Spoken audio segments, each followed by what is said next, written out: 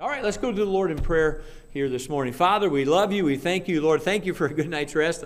I hope everyone slept well, Lord. Our family as well. We appreciate the prayers, thoughts of those who uh, were praying for us as we had a long travel day yesterday, Lord. A lot of cars and trucks on the road, but we thank you for safety, protection, a smooth trip, Lord. Thank you for the safety you've given the Kimmels as they were down here, Lord, for most of this week and uh, at Victory Baptist Bible now with us this morning. We certainly pray for them, Lord. Give them freshness and strength as they teach and preach this morning. And then, Lord, as they hit the road as well for traveling to Michigan, we pray for a good travel day, safety protection for them as well. Use them, Lord, here at this church. May we be an encouragement and blessing to them as I know that they will be to us. Lord, we thank you for this Memorial Day weekend as we remember, Lord, those who uh, have served and, Lord, were uh, killed in, in service or in some form, Lord, protecting this country. We thank you for our freedoms. We thank you for the freedom that we enjoy. We thank you, Lord, for your blessing on this country. And we ask your continued blessing, Lord, as this country honors you and glorifies you, Lord. We pray certainly for, uh, Lord, those that do not know you to turn to you, Lord, and know you as Savior. Lord, for those who have, but Lord, maybe have turned away from the Word of God and the principles of the Scriptures, Lord. Pray that we would have a turning back, Lord, to the things of the Word of God and standing on the absolutes of the Scriptures, Lord. And we thank you again, Lord, for those who are actively serving now, but especially for those who paid the ultimate price, Lord, for our freedoms that we can enjoy this service today, that we can enjoy picnics tomorrow and a day off and the freedoms that many people around the world do not have an opportunity to enjoy, Lord. Thank you again for your goodness, your love, your faithfulness. Thank you for the freedom and the liberty we have in Jesus Christ through salvation and eternal home in heaven. We love you and thank you. May you be glorified today in the services, Lord, in Jesus' name. Amen. Uh, it's good to be with you. It's been a couple of years since Julie and I have been here, and uh, we'll give you a report on the traveling and all that stuff.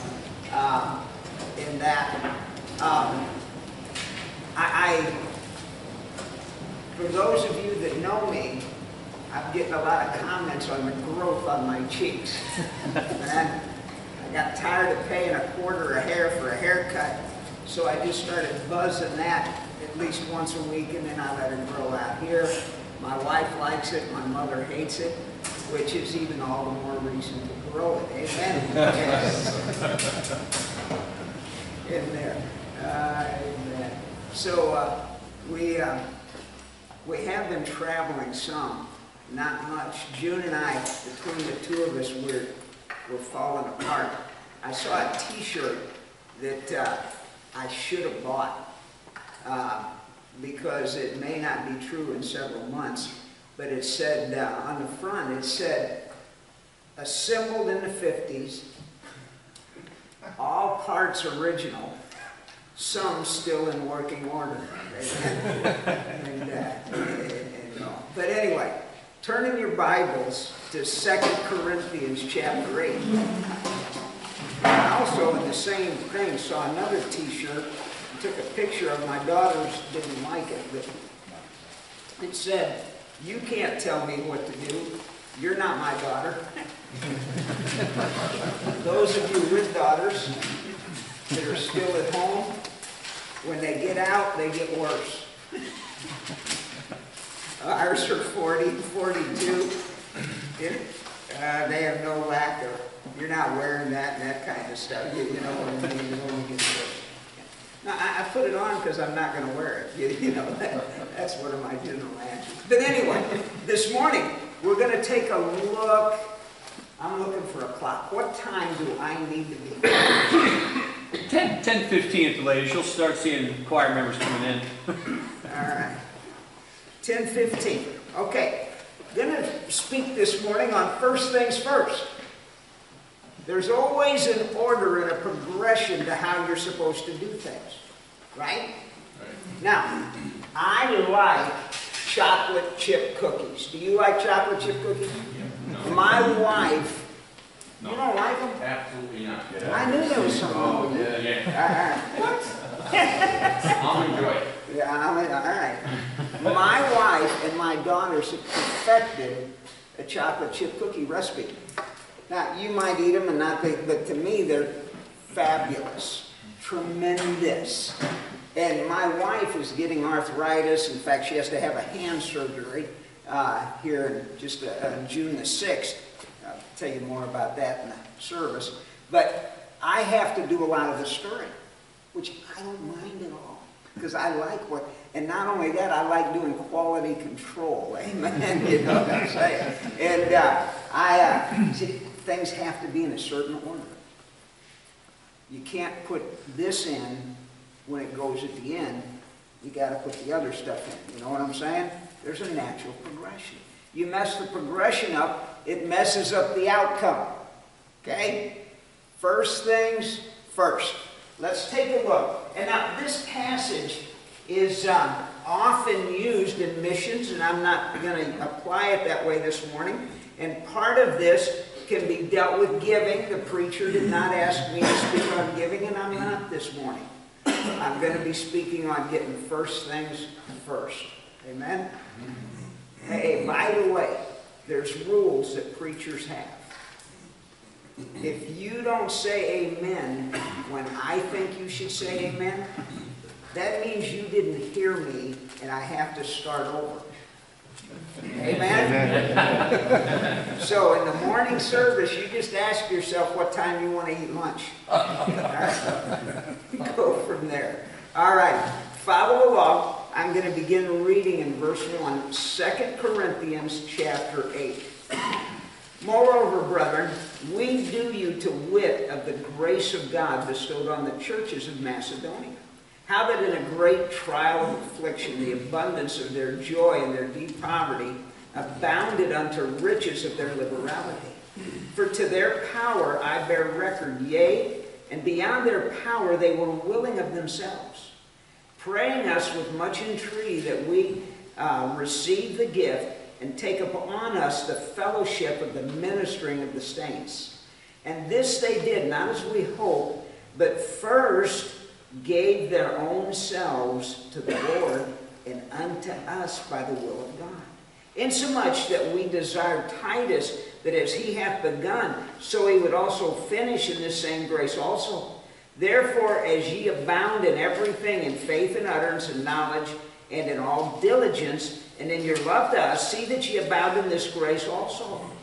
I speak not by commandment, by occasion of the frowardness of others, and to prove the sincerity of your love. By the way, when Paul says, I speak not by commandment, that means it's not been already given. Okay? Paul's word, under the inspiration of God, is authoritative. Amen? Amen. Amen? Amen. That's a little better. All right. For we know that the grace of our Lord Jesus Christ, that though he was rich, yet for his sakes he became poor, that ye through poverty uh, might be rich. Let's pray. Heavenly Father, Lord, we thank you for the privilege to be able to assemble together freely. Thank you for your love to us, your goodness. Thank you for the Lord Jesus and his death on the cross, paying the penalty for our sin, his resurrection from the tomb. God, help us to never lose sight of what that means to us and what it cost you.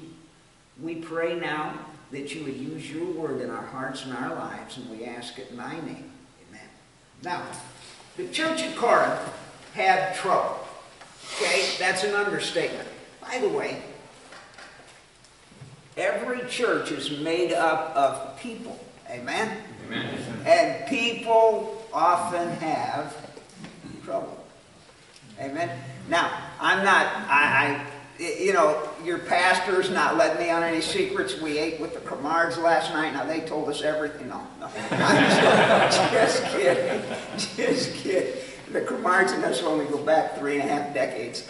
And, uh, but, you know, there was none of that. Not at all. Okay? But to say that no one has a problem in a church is, is you know, you, you're believing in Santa Claus. You understand what I'm saying? But the church at Corinth had problems, real problems.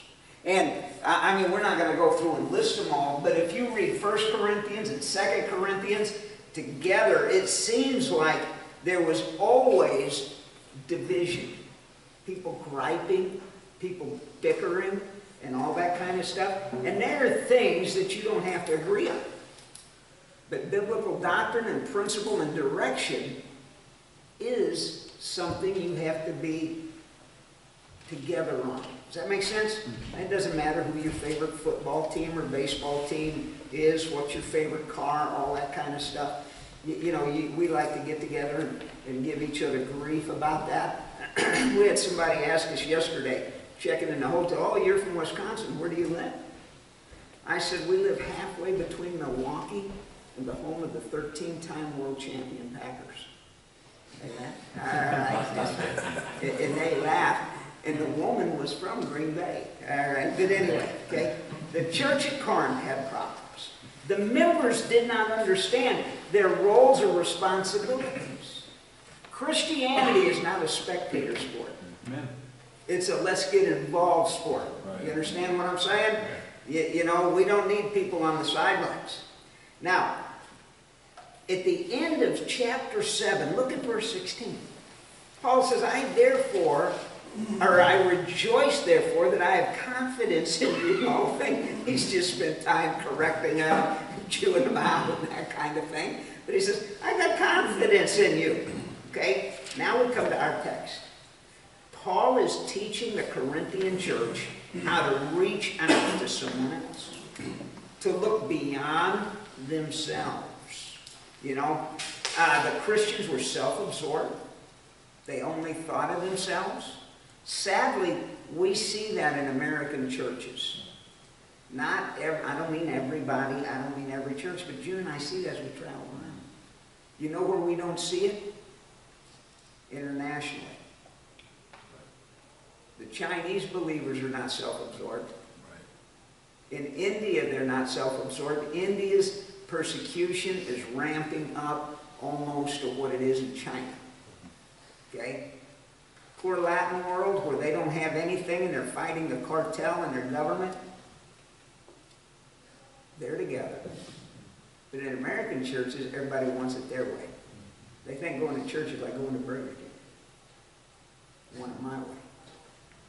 You know what I'm saying? Mm-hmm. Anyway, okay? As people see the Lord and His work, we can't help from being generous, giving of ourselves, our time. Do you know, giving of our time, in my opinion, is harder than giving our money. You know what I'm saying? Or maybe you have too much spare time. You understand? Now, in America, we have all kinds of ideas. We complain about everything. Steve was talking about that in his testimony. You, you know, and, and we do, if we spend a little bit of time thanking people, it's amazing the opportunities it opens up. Our country is a mess. I'm not here to be political. It's on both sides of the aisle. And if you don't think so, once again, what I said about Santa Claus applies, all right? It's still, it's both sides of the aisle. A revival is our answer, not the government. The government is the problem. Absolutely. Okay? Now, having said that, I've talked to preachers saying, we have never been more well received, our church, talking to people and sharing the gospel. See, before we've never thought we've had a need in the United States. You say, what do you mean? Well, if you have a problem, you call your congressman and you get it taken care of. You know what I mean? You sue somebody and it's like hitting a lottery. You understand? Okay? In China, it's not that way. In India, it's not that way. In the Muslim countries, it's not that way. In those Stan countries, Stan, Afghanistan, Pakistan, Shazikistan, Kahika-Wicca-Mikistan, you know, all of those. Okay? When they pray, they know God is their only answer. And it's different. Been there and prayed with some of them. It is different. They know they have to get a hold of God. And yet,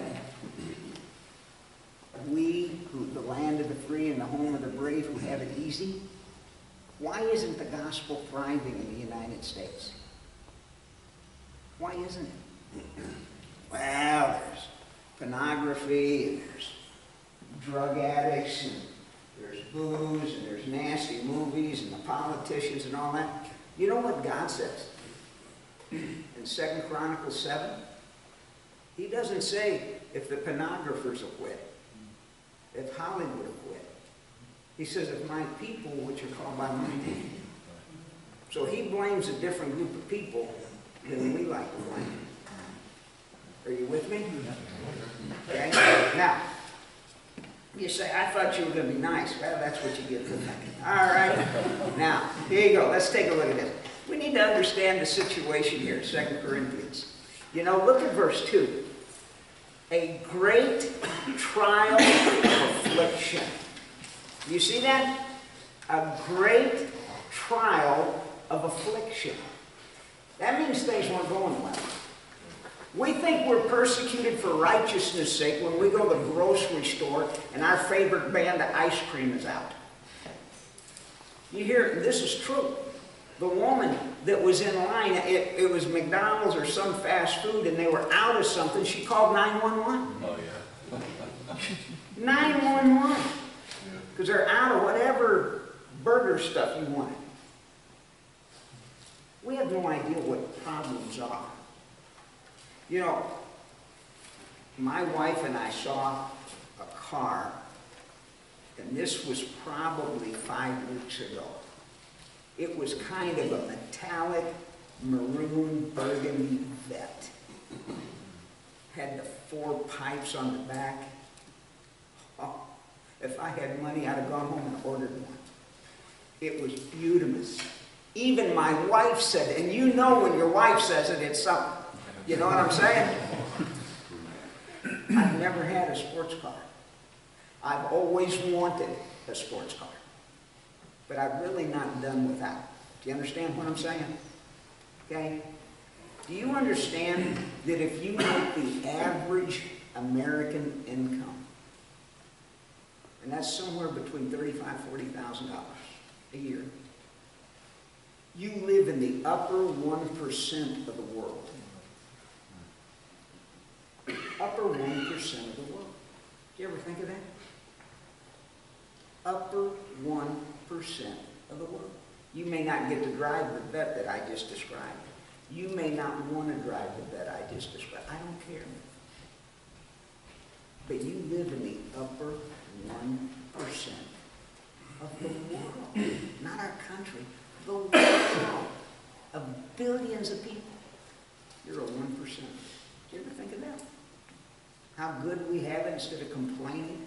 The news media does a great job infecting our thinking. Okay?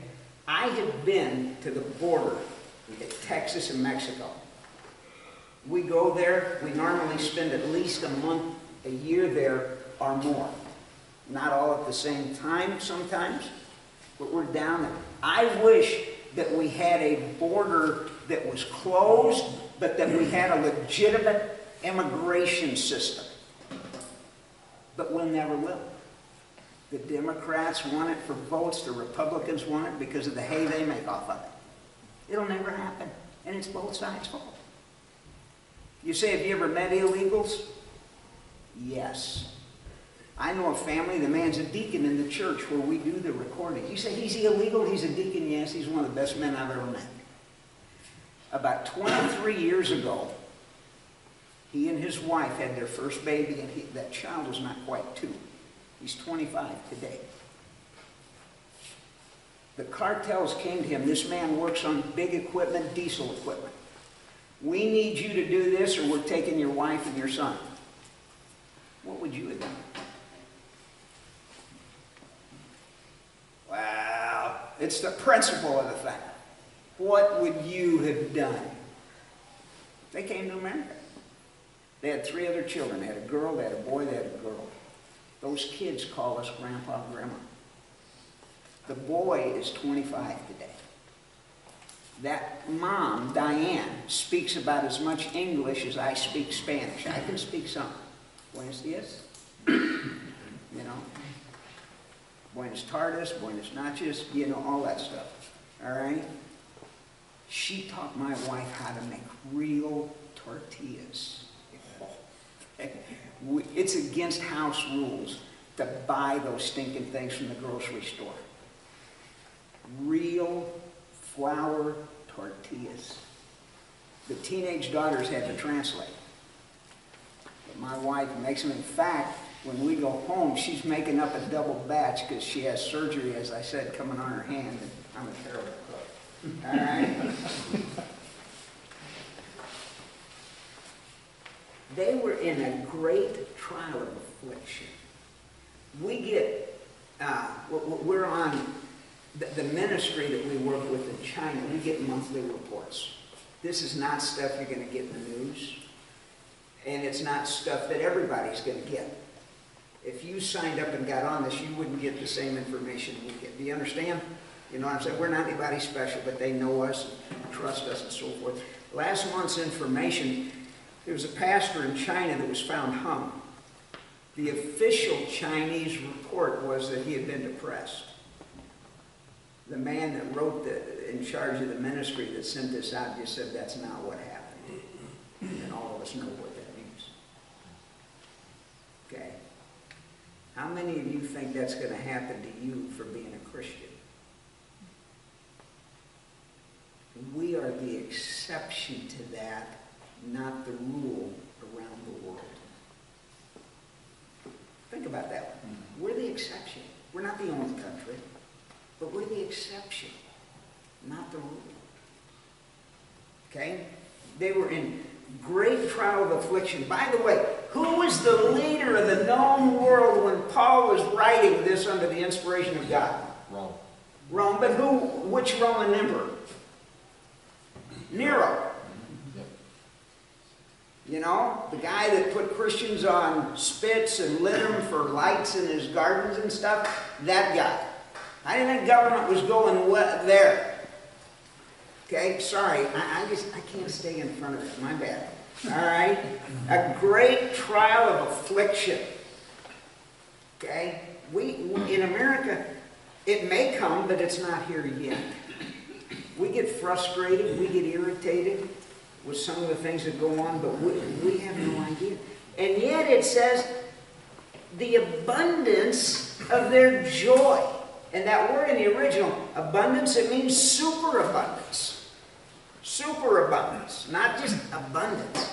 And the source of joy. You know why so many times we don't have joy? We look for it in the wrong places.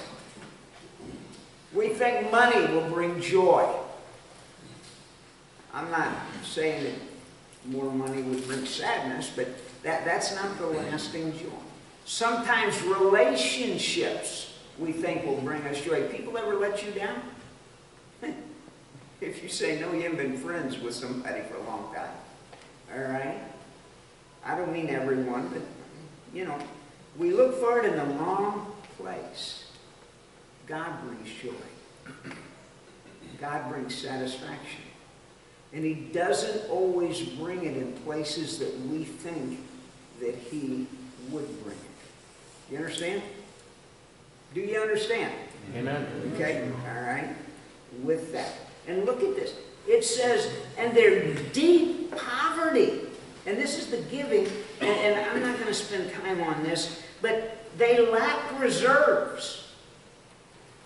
They lacked reserve, but they were liberal in their giving. They saw a need.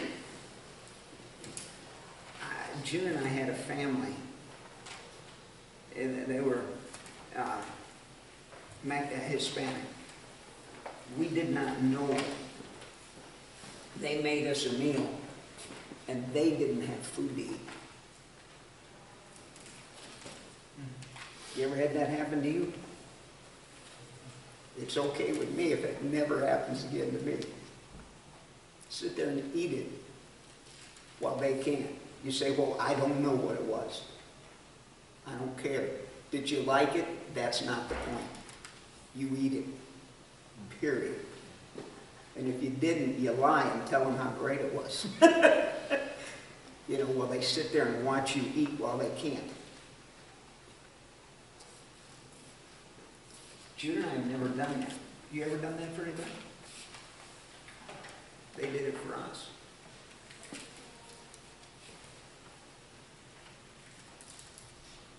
Take a look there at verse 5. And this they did, not as we hope, but they first gave themselves to the Lord. They first gave themselves to the Lord. You say, well, I did that when I got saved. And you should give yourself to the Lord when you get saved. Does that do it forever? Any of you ever struggle and have to confess sin? Let me reword that. Any of you should confess sin. you know what I'm saying? All right? And, uh, you know, certain things irritate the fire out of me. Now, my wife is the most even keeled person I've ever met in my life. I mean, it's sickening. Uh, it takes a lot to irritate her. Now, I can't. Without it, I, I know I, I'm not going to share and, and, and so forth. But there are things that just irritate me, don't bother her at all. One of the things that really irritates me is bad drivers. They irritate you? You know what I'm saying? Then, you'll just reach over and pat me on the leg. oh, man. You know, you're in a traffic jam. We were in several yesterday from wrecks and that kind of stuff, not construction. And, you know, and there's always one or two of these dear children of God that think that their time's more important than everybody else, and they're zipping and cutting, and you, you know what I'm talking about? Ah. I had one of those yesterday. Say, what'd you do? Well, if he didn't hit his brakes, he would have gone off the edge. Let's just say that. All right. There's, you, you know, I let guys in, and you take your turn and all this, but anyway, it's just irritating. But I do drive a lot more defensively than I used to. When you're on the road all the time, you don't need your car, even if you're in the right, in the shop being fixed. You know what I mean? They gave themselves to the Lord. Can you see Jesus shaking his fist and honking at somebody going down a road? This is a true story. When June and I lived in town, when I pastored in Mountain Top, we were downtown, and when we were having the meetings at Victory Baptist, we drove by it. I said, that's where it happened, right there. A nun was honking and shaking her fist at some guys. I, I, I said, that's where it had. June said, are you sure? I said, I guarantee you, that's where it was, right there. It was on our left, the parking lot where this happened and stuff. You just don't see nuns, you don't get that picture of an old nun doing that, you know what I'm saying? But we need to give ourselves to the Lord so that we can be a witness for the Lord. As I said, right now, I talk to preachers, and they said they're getting greater opportunities to share the gospel with people. Now, I mentioned a few minutes ago about the border. I wish that it was controlled, but it's not. Do you know what the Lord's doing?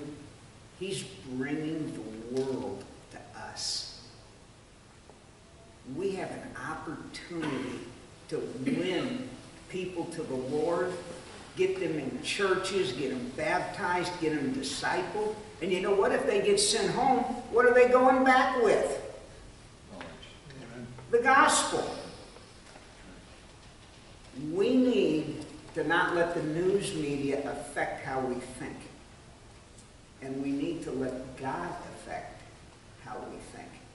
Does that make sense? Mm-hmm. And we need to take advantage of opportunities. You know, if you were with me in McAllen, Texas, and we're in a suburb, I can take you to the cages where they held the people. I know where they are. I know in Donna, Texas, which is a southern suburb of McAllen, where they had the baby formula held. I could take you to that. I, I know where it is. Okay? But is that really the issue? Is that really the issue?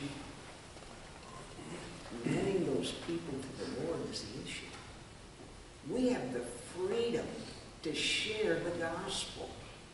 Now think about this. How desperate are people to leave their homeland and walk thousands of miles to swim across the river to come to our country?